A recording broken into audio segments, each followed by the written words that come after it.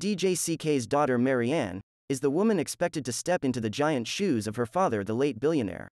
So huge is the responsibility for this 50 year old woman since the estate is estimated to be worth at least 40 billion shillings.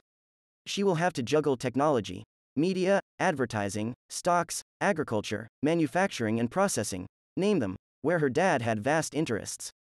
She will also be expected to carry on her father's legacy, that of being felt in political and economic deals in Kenya and beyond. Besides playing her dad's right hand woman in the business empire, she ventured out on her own in 2009 and started a restaurant called Secret Garden on Riverside Drive in Nairobi. In February 2017, when her dad's Two Rivers Mall opened, she established Opal, an upscale steakhouse. Speaking during the burial ceremony of her father, she said she is up to the task.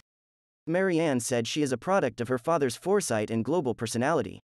She revealed that she will soon roll out the Chris Kirubi Foundation that will concentrate on four thematic areas education, innovation and technology, health specialized on diabetes and cancer ailments, and agriculture.